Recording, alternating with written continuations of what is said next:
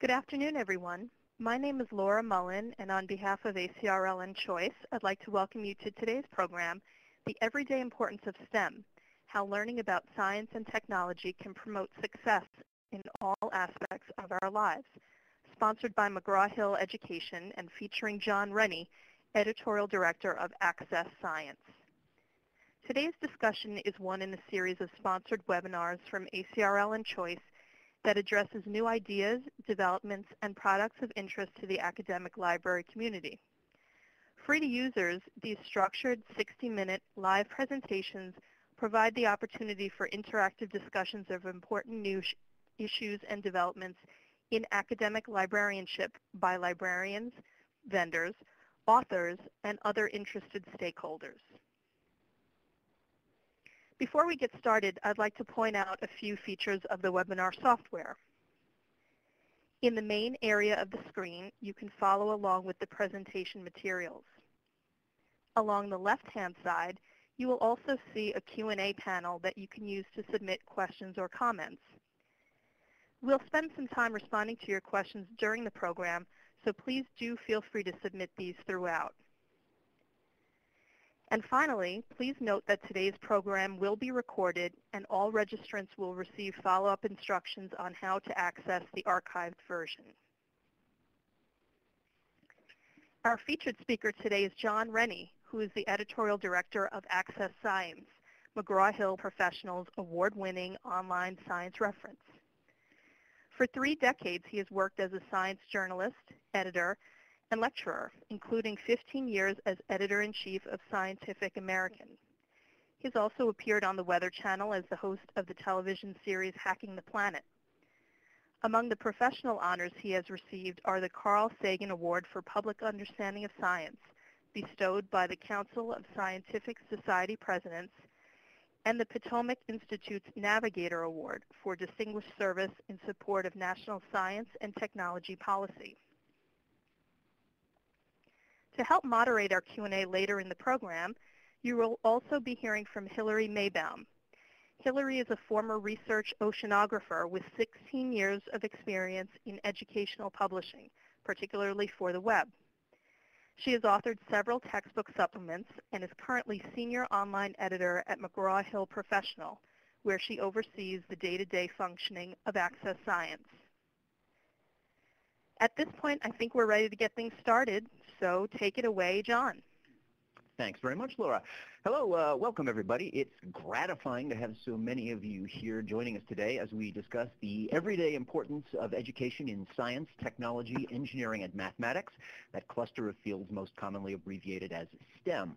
Over this next hour, I'm going to speak a bit about the diverse ways that importance manifests itself, but I also want to talk about how we can use awareness of that importance and what it means to different audiences to help drive greater understanding of science and engagement with science we want to try to share some insights into how to connect various audiences, and, and particularly students, with STEM learning uh, based on strategies that have traditionally been very successful in science communication.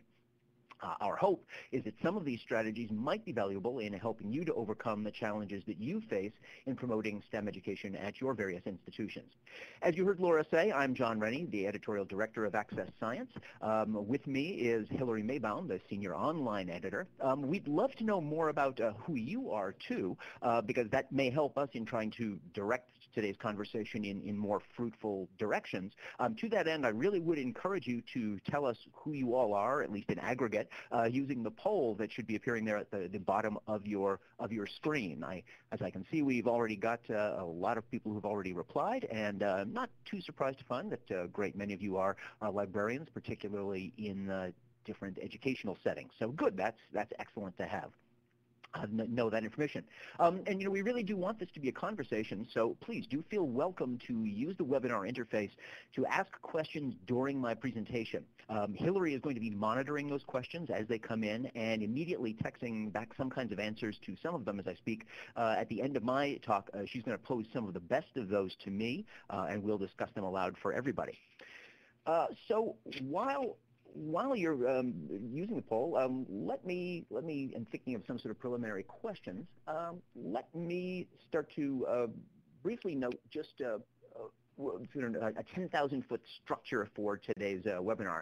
Um, I'm going to start by just briefly noting, again, why STEM fields are so commonly recognized as important, what that means, and the different forms that importance takes. Um, then we're going to go over some of the basic challenges that need to be acknowledged in any kind of STEM communication effort. And then we're going to turn to some of these time-tested ways of communicating STEM successfully, uh, including some well-known examples. Um, I, I, think you'll see that the key for most of these involves a combination of matching the right STEM messages to the right audiences, and then also looking to promote lifelong enjoyable engagement with science. So um, I'm, I'm going to start then um, by, by saying something that I am sure is in no way news to any of you, uh, namely that, that we live in an era of scientific discovery and achievement that is unrivaled in history. This is the golden age of STEM. Just, just look at some of what we've learned and done relatively recently through, through a combination of astronomical observations and fundamental physics, science has deduced what happened in the earliest microseconds of our 13.8 billion year old universe and discovered that its expansion is driven by a mysterious dark energy that's the most abundant thing in the cosmos and yet somehow completely invisible to us.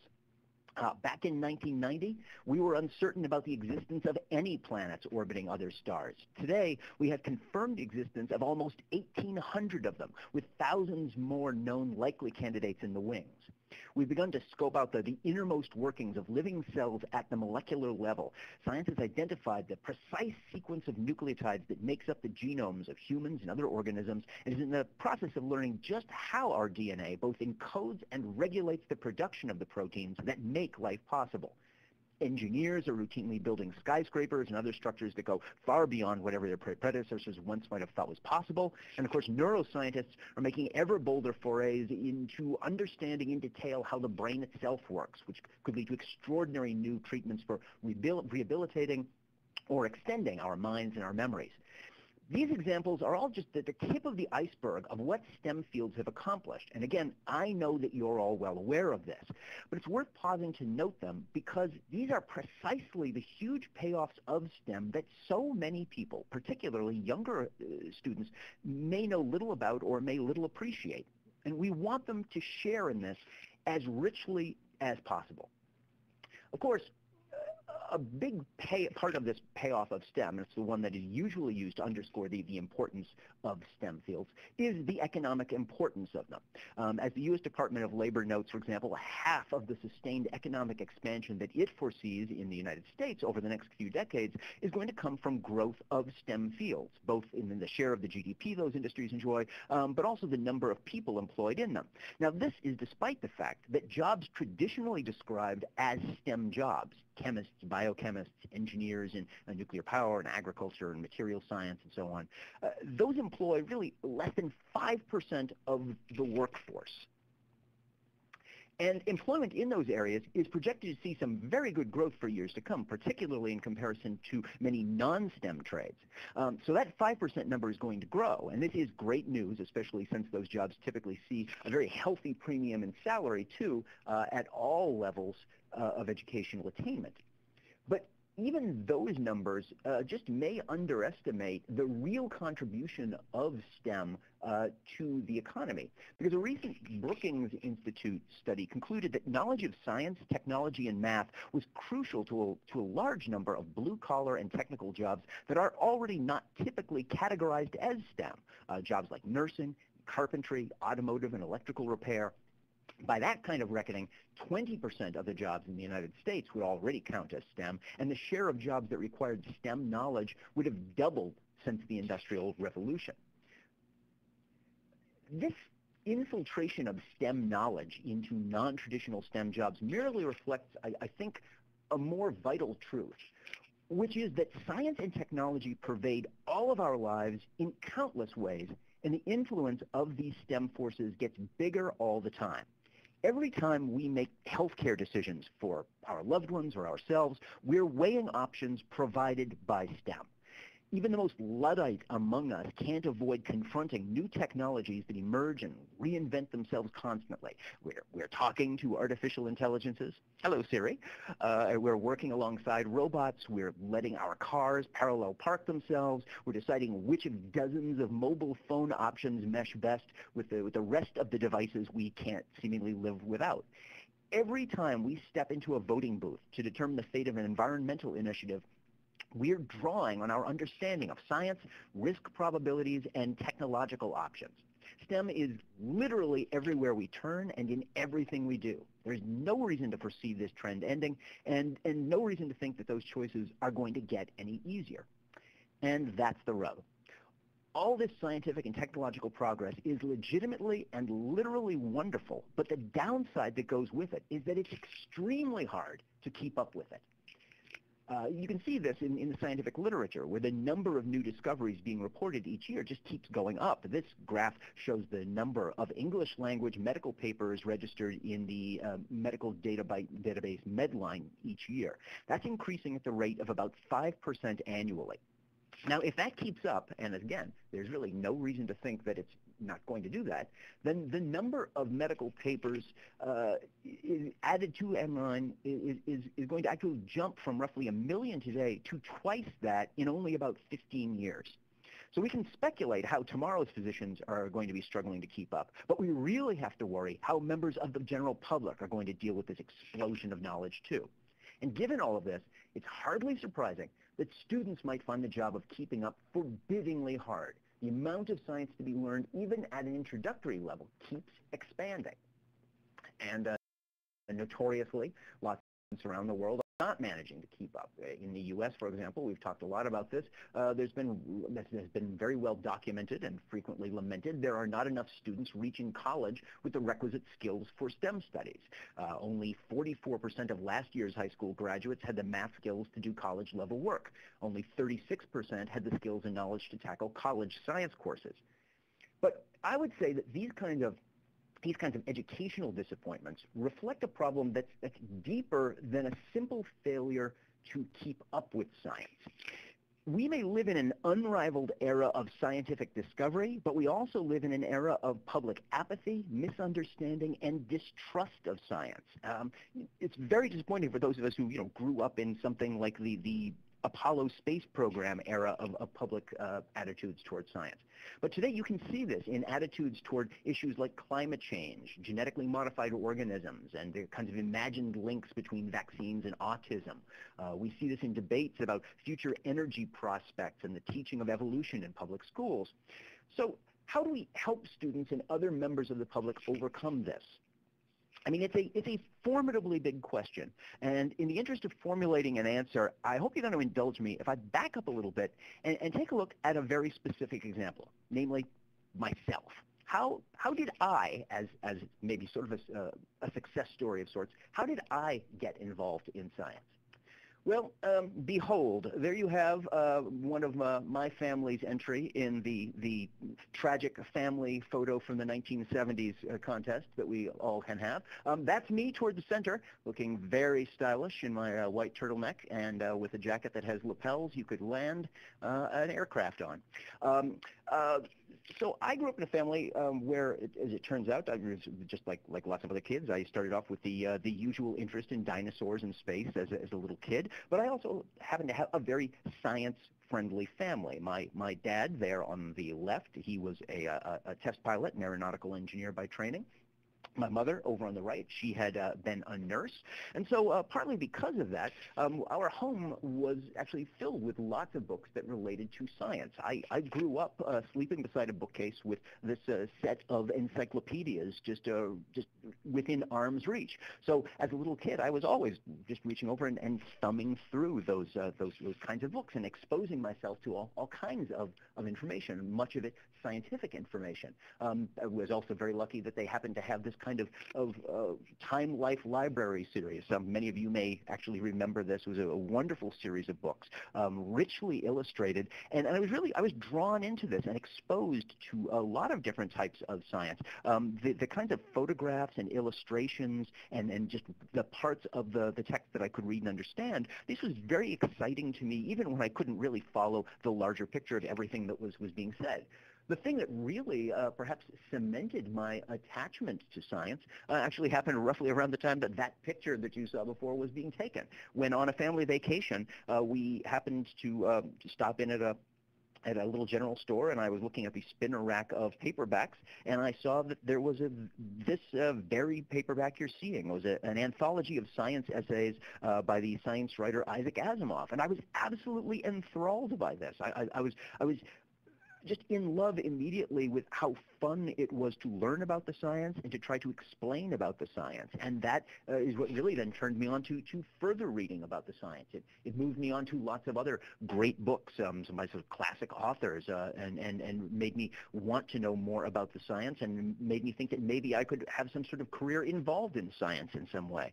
Something else that certainly helped this along was the fact that in the, the small Massachusetts suburban town where I lived, Bedford, Massachusetts, there was a wonderful public library, and I could walk over to that public library and draw on the kinds of great science books that it had. Uh, it was very responsible in helping to, to develop me into someone who would then go on to college and study biology. And uh, later I did work at, at Harvard Medical School. And then, of course, I've now pursued a life in, in science journalism using this, this kind of, of knowledge about the science in, in that way.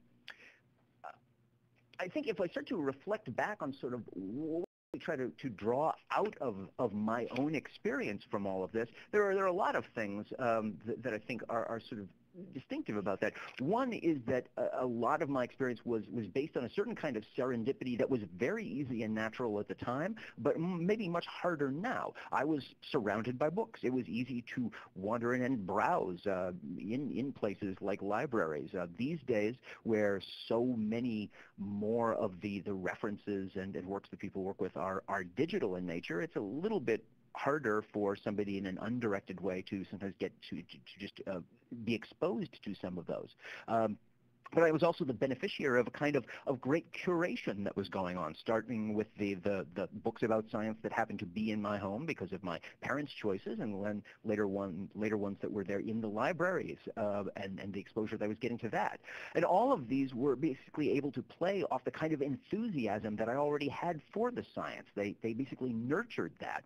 So I think this really speaks, of course, to the very important roles that librarians and faculty and others can make in, in making available the right kinds of inspirational and informative references in shaping people into to ones who want to be involved with science altogether, and with helping them learn how, in the course of, of their their studies, uh, how to take advantage of those references. In particular, the kind of central question, uh, or at least a methodology that works so well, which is to start with a reliable general, general science reference, one that you can approach when you don't know very much a subject, and then to use that to connect to deeper, more detailed, trustworthy literature thereafter.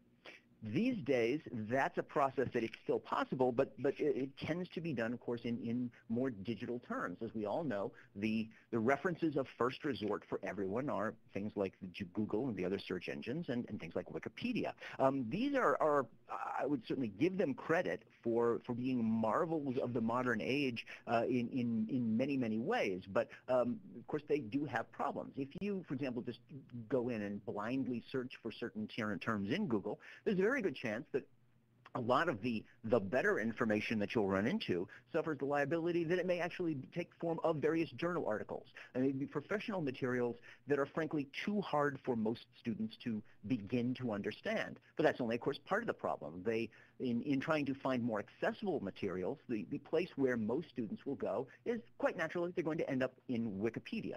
Uh, and Wikipedia you know, is, an, is an amazing resource in many ways, but as we all know, the quality of the entries varies quite a bit. It can change rather erratically, and the authority for that, that information is often very hard to verify. Uh, it's possible for students to use something like Wikipedia uh, as, a, as a way of, of stepping into the deeper literature, but the reality is that a lot of students who do use something like Wikipedia, they may never bother to view those deeper, more authoritative sources.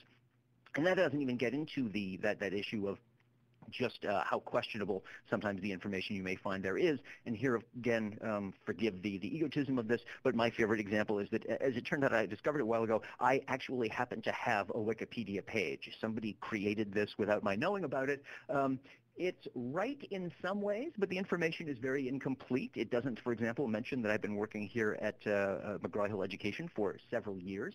Um, and uh, among the, the other interesting choices that were made that in terms of finding a, a nice profile picture uh, to show of me, although there are certainly ordinary pictures that could be used, they've decided to use this picture that someone found of me singing karaoke on a cruise ship in Mexico. So it's a little, it's a little different. Um, nevertheless, the, the fact is that, that we, we do know that it, it is possible to encourage good good STEM learning despite all these kinds of changes in this sort of informational landscape. Uh, and I think that some of the answers can be teased out of examples like mine about the best ways to doing that.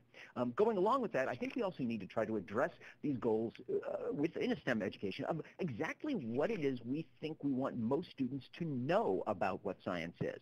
Um, to my mind, that is that we want them to know that in part it is a body of empirically tested facts and ideas, but also we want them to know that it's a way of understanding the world a, a way of thinking about what it means when we say we understand something. I think we want them to know that real science depends on kind of ongoing critical scrutiny of contingent truths, that everything science knows is subject to revision in the light of newer, better information. And we also want them to understand the, the role of experts in this. Uh, we want them to understand the role of authority. We want them to understand that this is a dynamic process of discovery and reevaluation that guides science, and that the value of seeking solid scientific answers from truly qualified sources is there. In the same way that if you needed surgery, you'd want the help of a qualified surgeon, students should know that if they need scientific help, they should be turning to scientists with the right background. A lot of this then, you know, I think in a different time, we often talked about this in the context of the question about science literacy. And there's always a, a, lot of debate about what indeed this, this much-used term means, but a, a working definition of science literacy that, that I've become rather fond of is that science literacy involves helping people understand enough about science in a broad way that they will know how to find and make sense of more detailed scientific answers when they need or want them. Uh, this way of thinking about it skirts some of the problems of defining some kind of fixed canon of the essential science everybody is supposed to know. It also inherently promotes a level of ongoing science learning, which is the only way to keep up with ongoing discoveries. So with all this in mind, let me turn to some of these core principles that have been tested and applied successfully by the best science communicators over and over again. I think this is a good starting point for any discussion about how best to promote STEM involvement. Uh, and these principles might seem most relevant to those producing, writing uh, uh, teaching materials uh, re related to STEM. But I think it's also something that needs to be very clear, of course, to, to librarians and others who are selecting what materials to help make available, because those curation choices may help to guide success as well. All right, so it's placed then to, to, start is that there are three big challenges that confront all science or STEM communications. And they're challenges that exist even before we get into the specifics of teaching uh, the particular scientific information. Uh, those three challenges are, of course, of lack of interest, an excess of confusion, and conflicting priorities. Um, we, a lot of students are not necessarily going to be interested in any particular subject. Even ones who are may be confused by the, the information that we're presenting, and there is the problem that many of them, they might have some level of interest in learning what you're trying to teach them about STEM, but they also have a lot of other things they would like to be doing. We need to anticipate, anticipate that these are the big obstacles in understanding and preparing, uh, uh understand, uh, we need to anticipate that these are the big obstacles um, for anybody who's going to be trying to learn what we're telling them. And, and, we have to try to prepare or choose educational works accordingly. So the, the bottom line here, as, as I explained to a lot of scientists and journalists that, I, that I've worked with or taught in communications, uh, is pretty much this nobody needs to read about your stupid science. Um, this, this is maybe a principle that is less obviously true for scientists, or, or, rather for students, because of course they, they are somewhat obliged to do the assignments. But it's important to bear it in mind anyway, because it affects how just how likely it is that people will want to spontaneously prioritize uh, learning about STEM and view these kinds of resources that you're making available to them, and the likeliness that they will just do it of their of their own free will. It's impossible to settle any of these problems and deal with these, these issues of interest and confusion and the priorities until you know your audience. Um, that is, you have to start to understand their specific information needs and their differing levels of innate interest or affinity for that. Um, we can certainly put that in, in terms of, of, of, trying to understand this in, in the context of, of students. Um, you know, imagine uh, a giant introductory level lecture, lecture class for a STEM subject. Um, we can start with that smallest circle you've seen drawn here, um, the, the STEM majors. Um, and by the way, none of these circles is, of course, meant to be drawn to scale in any way. The smallest circle just is, is the size relative to the others is, is somewhat arbitrary here. But uh, that smallest circle is for those science majors who are really working in their own area. So these are the students who are in most respects going to be the easiest ones to address your STEM messages to because they already have an intrinsic interest in the subject, they already may have some background in it, and they already have more specific motivation to read the materials and study hard and use the resources you give them. Uh, basically, they're already sold on this. They're, they're easy to talk to, um, relatively. Um, in contrast, look at that biggest circle, the one that consists of these, these non-science majors. They're, they are the ones who are, we can think of them as almost STEM averse. They are only there in many cases because distribution requirements are, are obliging them to be there. Um, in any particular STEM class, now these may really be a minority of the, of the students, but they are, of course, most representative at most institutions of that larger share of students overall. Um, you know who these people are. They're the, they're the kids in the back of the room who are fiddling with their phones all the way during lectures, and they're not doing the reading they can avoid, and they're asking whether subjects will be on the final exam, and not engaging with the subject at all if they can possibly avoid it. Now, sadly, the reality is most of these students may really be, in practical terms, beyond your reach. Um, you, we can try to, to teach them, but they'll almost never be deeply enthusiastic about the science on their own. And the more efforts you make to win them over, you have to be aware that uh, just uh, at what point you reach a, a point of diminishing returns and whether there's a, a a contrasting danger that the more you try to get them, the more you may also lose the potentially more dedicated students.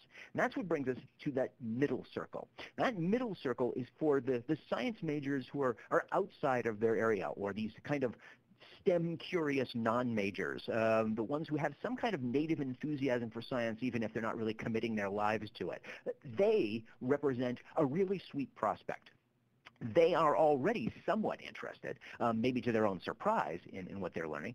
So if you can break down the barriers that stand between them and even a little bit more engagement with the science content, you may be able to cultivate a larger number of students with a healthy interest in science that will survive beyond the duration of any particular class.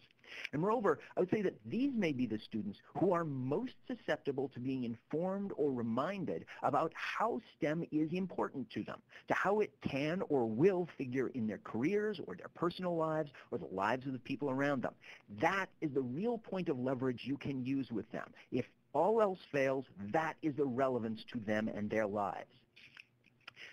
In choosing or crafting kinds of messages, it's very important to meet the audience that you know you're addressing on its comfort level and on its preferred terms. Now, a lot of time when, when this idea is presented, uh, it gets uh, criticized as being a form of dumbing down the science. But it has nothing to do with dumbing down science. It's, it's about avoiding unnecessary obstacles to learning. You know, the fact is scientific language is difficult, and it's growing ever more so.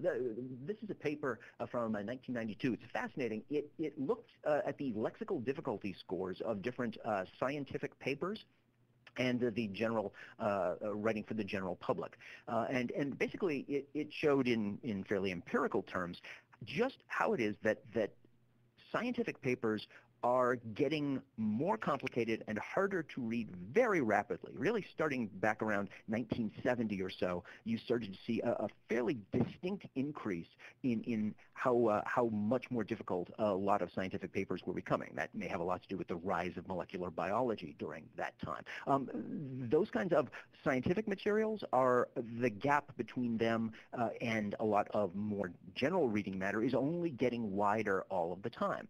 It's also something that that makes this very complicated is that uh, is that scientists and the general public uh, frequently also use some of the same words and they use them to different effects. Um, one very well-known and an obvious example of this is the word theory. When, when scientists are using the word theory, they're using it to describe some state of scientific understanding of a topic. Um, but when a lot of the public hears the word theory, to them, uh, they, they understand it to mean something that's only a hunch or a speculation, um, something that is very, very uncertain and not very well supported. So the word theory to most members of the public, and therefore to a lot of students when they're starting off, uh, really means almost the opposite of what it does in, in scientific terms. So when we're putting together these, these scientific choices, it's very important to pay attention to the language that, that would be used. Um, similarly, it's very important, in, and this does involve a deep understanding of, of, who your audience is, of having to choose the right level of explanatory detail and difficulty. If you have too much detail, even in the service of explanation, it's going to be overwhelming for a lot of audiences. And rather than helping them to understand it, they're just, they're going to feel crushed by it, and they're going to be driven away from the science and, and their desire for it. If there's not enough information, though, if there's not enough explanatory detail, then it's frustrating in a different way. And the, the students are constantly left having to ask questions. Well, why is this the case? And why is this the case? And if there isn't an easy way for them to follow up on that, perhaps by having tiered presentations of, of uh, of the discussion on a subject, then, then they will feel frustrated by the science for those reasons. So it's very important to choose that right level of explanatory detail. These days, um, you know, it's also very important to be aware of the, the, the, the right medium for conveying uh, this sort of information. As we all know, the more and more people are, are uh, very interested in trying to get information delivered to them uh, by things like phones or tablets. So it's very important that a lot of, sort of, of digital or online resources be tablet and phone friendly. That said, certainly our experience at AccessScience has been still that when people are doing serious research and serious work, they are still largely dependent on things like laptops and desktop computers. So it's just important to understand that this, these patterns of use are constantly changing. And as they change, we need to be able to, to respond to that. Uh, it's also an enduring, enduring principle of, of, human nature that people respond to people. Um, I, I, think this speaks to the value of personifying presentations about science whenever it's possible and allowing a voice um, to this. Uh, it's useful to be able to present science as the product of, of scientists striving to solve problems, to show that there was a human story beyond simply the, the scientific exposition that is involved one of the other things that can happen by doing this uh, is, that it also can be in service to, to trying to promote diversity. Um, using lots of examples of, of women and people of color involved in science is smart, and it's not so much because of they are maybe presented as role models, but simply as a way of, of telegraphing the, the inclusiveness of the scientific enterprise uh, along those lines visuals. I had mentioned how important it was that the, you know, the, the, amazing photographs and illustrations that I was seeing in books as a little kid, uh, how much that did to make me want to go back. And, and great visuals are something that has always uh, been very, very powerful for conveying points. The right kinds of, of infographics can draw people in and aid their understanding very powerfully. At the very least, though, you want to have a pleasing presentation just in general aesthetic terms because unpleasant ones will drive people away in all sorts of ways. Uh, we also know that people like to get information, um, sometimes certainly on, on, a first presentation, they often like to get it in terms of videos and animations. That's a, a very popular way uh, for, for a, a, lot of science to be learned these days. Sometimes deeper study involves um, being able to, to look at accompanying texts uh, that go along with that, but the videos and animations can be very useful for, for first winning people over into a field.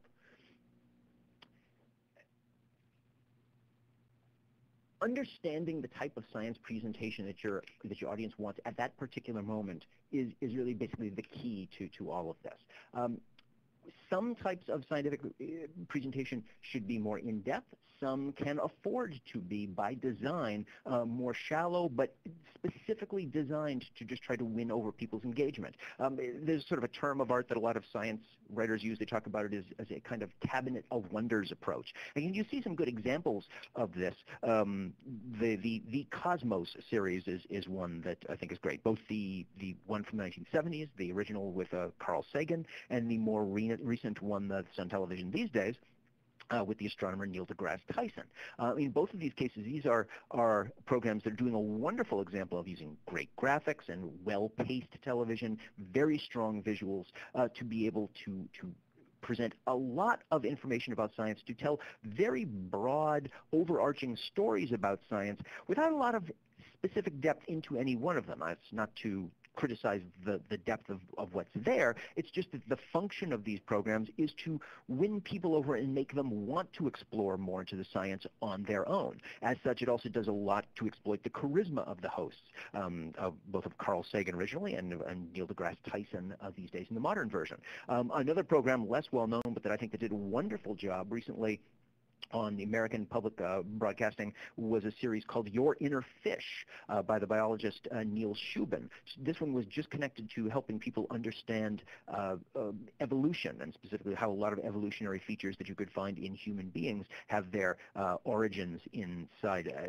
different other kinds of animal life and, and how that can illuminate the, the story of how it was the, the we evolved and how evolution works in general. Um, so these are great for being able to help to win a lot of of, of, people over, especially if they are, are new. People look for sort of an introductory level. This level of approach works very well. But uh, certainly a lot of students and professionals may need something that's more substantial too. They may need something that, that uh, is, has more, more immediate substance.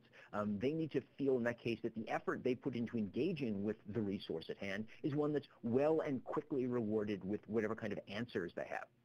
Um, that was actually was, was uh, very important to us in taking shape of the program that uh, Hillary and I work with, which is uh, Access Science, which is, of course, is, is McGraw-Hill Professionals uh, uh, General's online science reference. Um, this is carrying on a tradition of, of uh, more than 60 years from the McGraw-Hill Encyclopedia of Science and Technology. Um, for this product, this is something that when, when we were thinking about how to try to make AccessScience good, we had to take all of these kinds of considerations uh, in, into account. Uh, we wanted it to be a strong, useful digital reference that, that would be a first stop for people to make when they were searching for answers about science, but not necessarily the last stop if they needed much more detailed answers. And we wanted them to have a great deal of confidence in, in what they would find in access science. Um, so in, in the spirit really just as an example, let me just review a couple of the things of, of, of, what we're doing at AccessScience to try to show how we've used this tride of thinking and, and how that's sort of tried to shape the, the, the product in, in our case.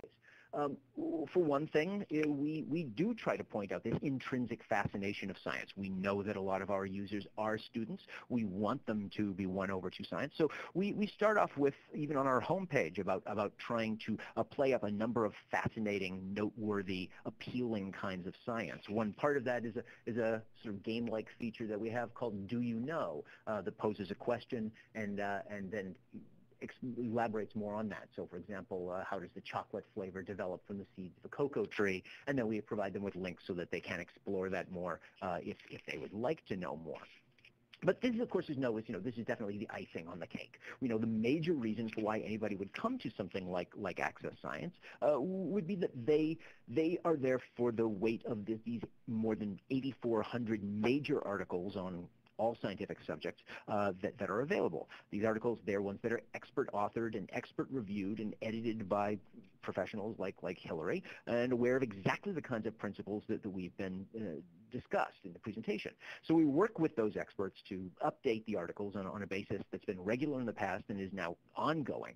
Um, it's, it's important to us in, in presenting this kind of information because we know that's what, what our users are looking for. We, it's important that, that the, that kind of value and the credibility of the articles um, be very clear right away. So we try to make sure that, for example, that the, the authors' names and their affiliations are listed right up front so people can, can see why this is an article that might be trusted We try to use uh, very uh, good illustrations, figures that will help to to uh, clarify the information. And we know that that in terms of helping to promote that that deeper exploration, when someone goes to a page on any particular topic, we have sidebar presentation uh, for links to other related content, um, so that people can, can go deeper into the content in in that way the information is all footnoted with different sorts of bibliographies and additional readings, and these include DOIs for the technical journal literature. So if an institution uses the open URLs, then just a, they're a click away from getting to go to those papers themselves directly. Uh, we feel this is very important because we, again, we want AccessScience to be a portal in this way to that deeper exploration. That's what we want, how we want people to use it. Um, for the reasons we talked about before, we understand the, the, the value of videos and video biographies and different sorts of, of, themed images of galleries. We, we use those to drive engagement for, for all the kinds of reasons that we talked about.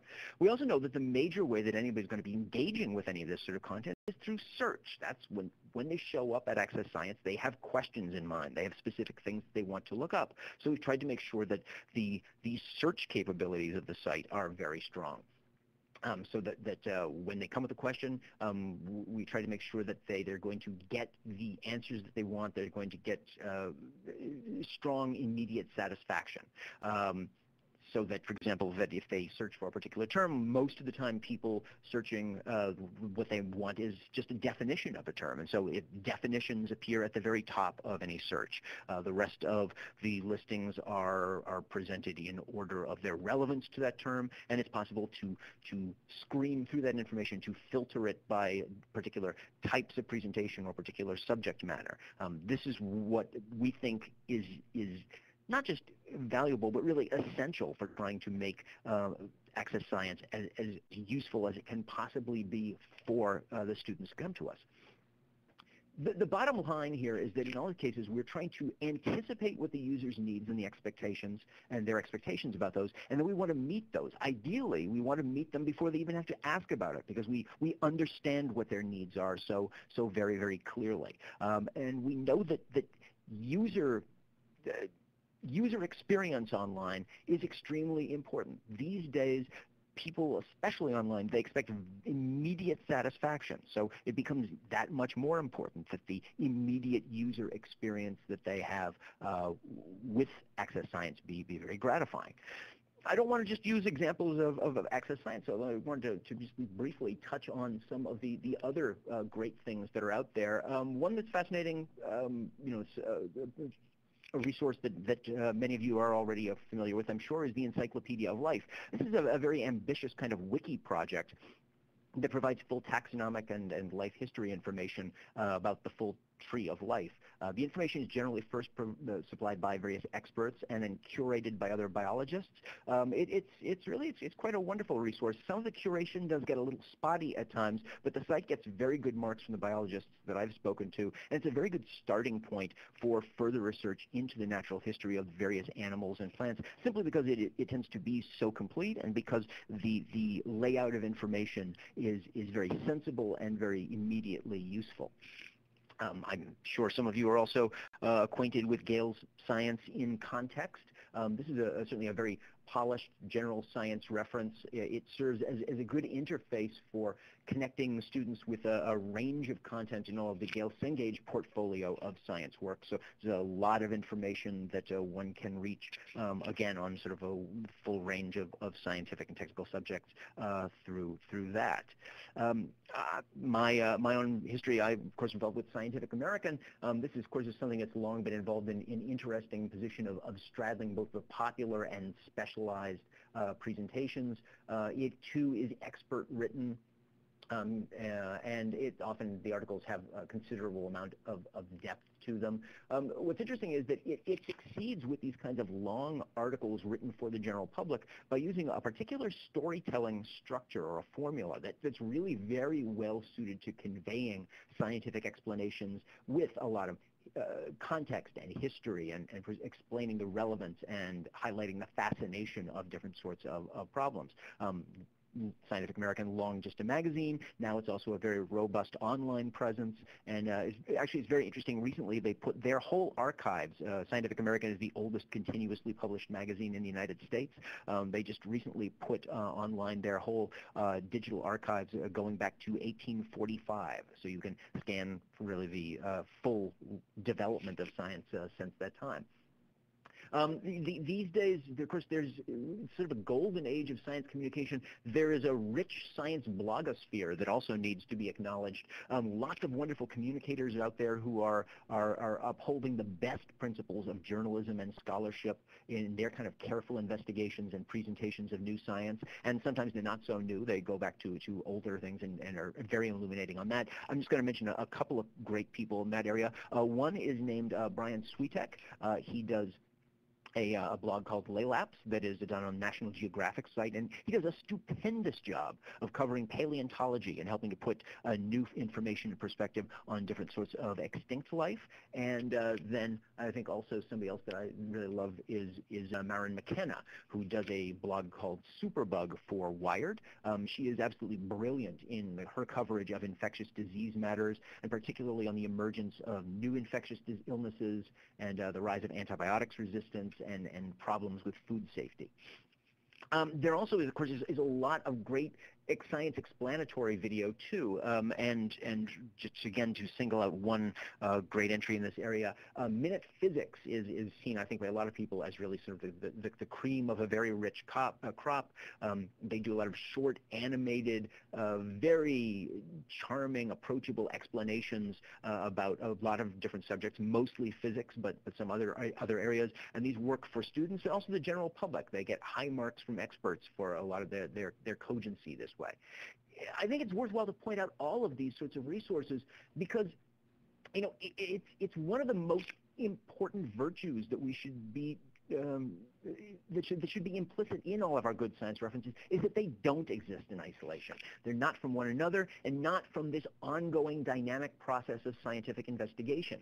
Scientific information shouldn't present, be presented as, as some kind of fixed, embalmed set of facts under glass. There's constant reevaluation and testing. No fact, no experiment, no body of knowledge is, is complete in itself, and no expert speaks as the eternal final authority on any problem. Students need to be exposed to the best information available, but they also need to be exposed to this questing dynamic at the, at the heart of STEM fields, the dynamic that's ultimately responsible for all those great benefits accruing from science and technology.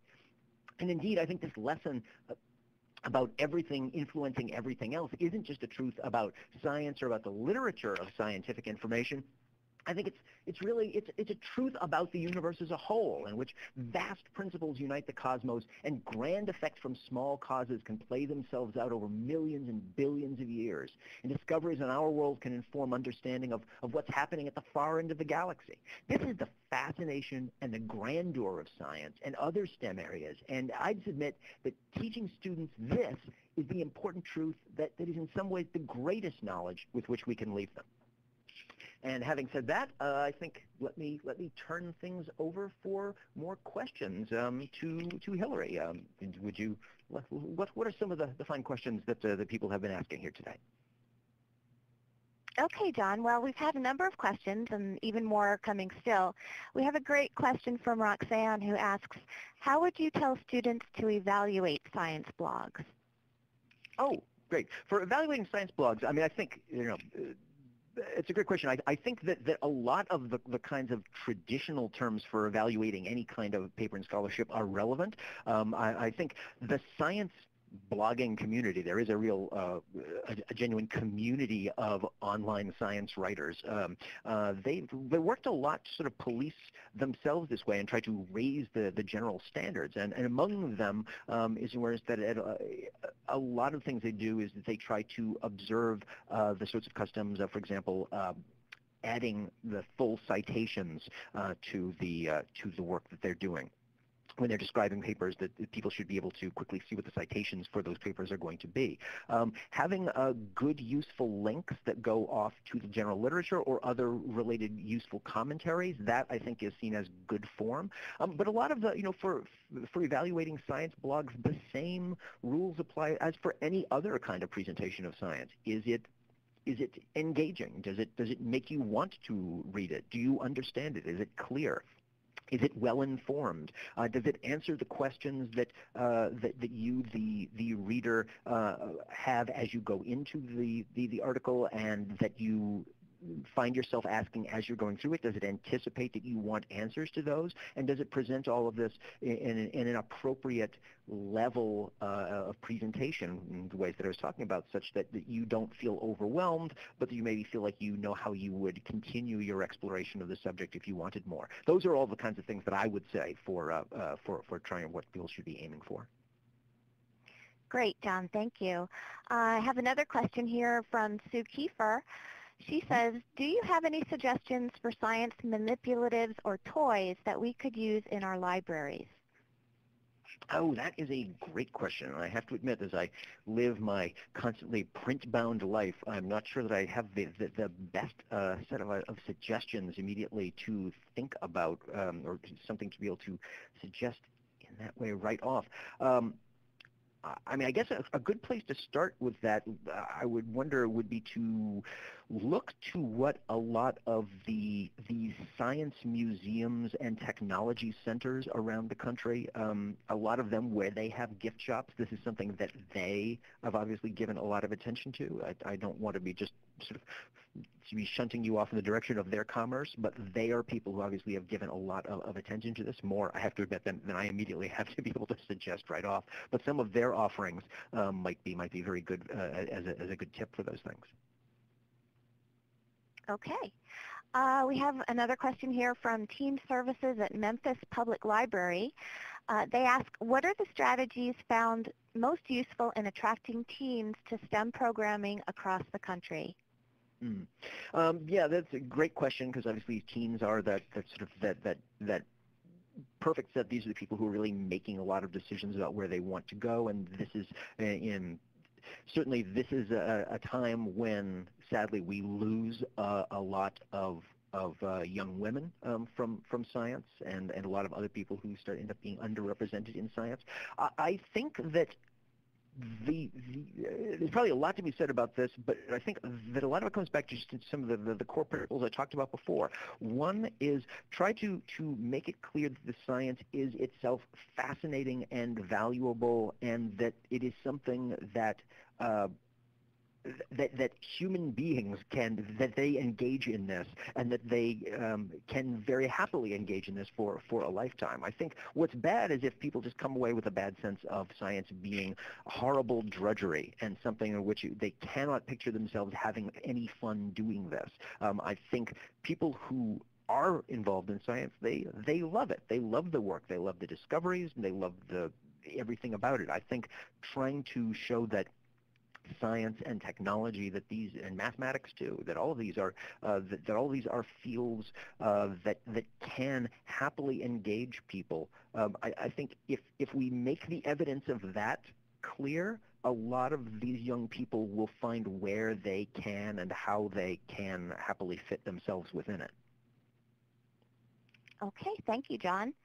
Um, we have another question from Karen Murray who asks what activities can I present in a library setting to stimulate an interest in science? Oh, great, great subject. Um, again, I, I, I, would not want to present myself too much as an expert necessarily about, about what would work best in, in a library setting, but I think that this is something, you know, I'll throw off some things um, offhand that I, that I think might be fun, and you can be the judge of whether they'd be appropriate. Um, I think that anything that would, would encourage a kind of level of discussion. Um, I think that, that anything where people would be, if you, if you could find ways to uh, identify, say, a piece of, say, science news um, recently or, or any kind of scientific discovery that people thought was fun and just find, you know, sort of uh, challenge them to to, to read up on it and do like a little presentation to other members of a group, basically a kind of little um, you know, science salon of that sort. I think encouraging some kind of discussion that way um, could be great and asking maybe, maybe um, identifying what could be a large, uh, potentially large, complicated topic, and have, have people, you know, in that spirit of the the various the the blind men feeling their way around different parts of an elephant, um, have somebody talk about the history of a particular problem, have somebody talk about some recent new discoveries that were coming in on a particular problem, have somebody talk about like technological applications of something that maybe was um, a, a discovery in, in, basic basic research uh, terms. Um, I, I think that that I think that anything could do that could connect up people's natural lives with scientific discovery will help to bring a lot of these fields alive. Excellent. Um, I have uh, a comment here. It's not so much of a question, but um, I shared it with the audience. It's from Elon University. I hope I'm saying that correctly. Mm -hmm. um, and they say, how about suggesting maker spaces for those wanting toys and hands-on science in libraries? Oh, that is such a great suggestion. Thank you so much. Yes, one of the really exciting, wonderful developments in recent years has been the rise of the maker movement. Um, you know, this, this notion that so many people are now, um, after we've gone through you know, so many decades of, of, of, so many of us just being kind of on the receiving end of a lot of different sorts of technology, they're going back to the roots of, of making things. And uh, these days, it's astonishing the kinds of things that it's possible uh, to make and the kinds of, of, projects one can do. You know, we, we've seen how, how ro robotics is something that now is, is you know, there are, there are child's toys based on robotics. And 3D printing is, is an amazing area um, that, that it, it's fascinating to be involved in, in the subject of how you can be just producing these things, but I think increasingly we're going to see 3D printing as, as, as an amazing, amazing capability where people will in the future, in effect, be able to download different sorts of, of objects from the internet. They get the plans from that, they plug that into uh, what may be their home's 3D printer, and they may, be able to make different types of objects on demand there are great projects of this. And, uh, you know, I, I, I attended uh, the Maker Faire uh, out in, in, New York City last summer, and it was, it was, a wonderful time, and saw great examples of, for example, uh, people demonstrating uh, quadrotor uh, flyers and being able to then engage with the students and teaching them things about angular momentum and how it was that you made something that has, has, has has uh, a rotor uh, at each of its four corners. How do you make it turn various ways? How do you make it bank? How does it? How do the aerodynamics of that affect? Yeah, that's that's a great idea. The maker the maker fairs and uh, all the kind of the the, the, the maker movement in general, uh, rich with great capabilities of helping uh, uh, to, to bring a lot of different scientific principles alive. Thank you, John. Your um, answers are spawning ever more questions, and I'm afraid we only have a few more minutes to share. Um, but I will ask a question um, from Lawrence Gould, who says, how can you, one, introduce students into valid arguments that challenge the mainstream views about climate change?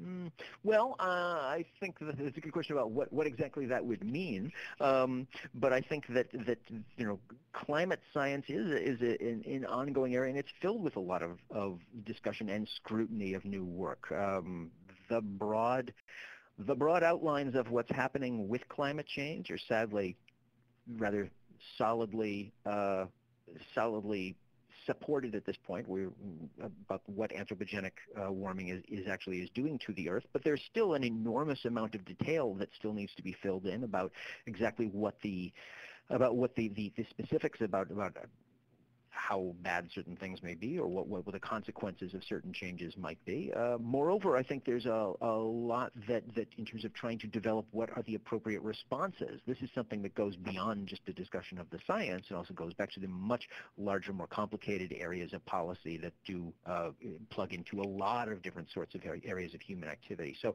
you know, there are a lot of questions um, that, that one can raise and that one can explore um, without necessarily rocking the what would be seen as the the, the mainstream or, of, of of climate science that way. I think that that climate science is very open to lots of new ideas, uh, and and we, heaven knows, it looks like we could use them. Thanks, John. We have time for just one more question, and I apologize for those who won't get their questions answered during this particular session. Um, but Ellen Stringer asks you to please talk about the overlap of science and art or STEAM education. Oh, that's great. Sure, happy to do that. And let me just say for the benefit of anybody whose questions I don't get a way to answer, um, you should be seeing online that that's my email. Um, you're very welcome to shoot me an email if you like, and I'll, I'll try to answer as many questions as I as I can. Um, um STEAM education, yes, uh, right. The involvement of the arts, I think that's great. Obviously, there is a rich component of uh, what science and mathematics can do in both the creation of extraordinary, beautiful new works of art, and also in ways in which uh, art can illuminate a lot of the principles of, of, of what's happening in science. Um, this is, is such a big area, I, I can't obviously do too, uh, begin to do justice to it in, in just these few seconds, but uh, really it is something that I would explore, and I think it's a great area for being able to, to use that as a way of drawing in people who, for example, think of themselves as uh, humanities people and don't think of themselves as, as, as being involved in science, but being able to show how that, yes, the science is relevant to both the creation of new art and how the art can illuminate some things about the science itself. The ways, for example, that different sorts of optical illusions, and other sorts of, of, of, of, visual effects in art can tell us a lot of profound things about how the visual system of the brain works just to choose that one. Um, I, I, think this is, has been so great to get a chance to talk with all of you. I'd encourage you to um, shoot me a line if you'd like. And Laura, let me turn things back over to you to wrap things up now. Thank you very much. Great. Thank you, John. Well, it looks like we are ready to wrap up our time together today. I'd like to give a virtual round of applause to John and Hillary for spending time with us and sharing some great info. We really appreciate your insights. Just as a reminder, we have recorded today's program, so be on the lookout for a follow-up email from ACRL and Choice that will include instructions on accessing the archived version. Thanks again to our participants for joining us. I hope you all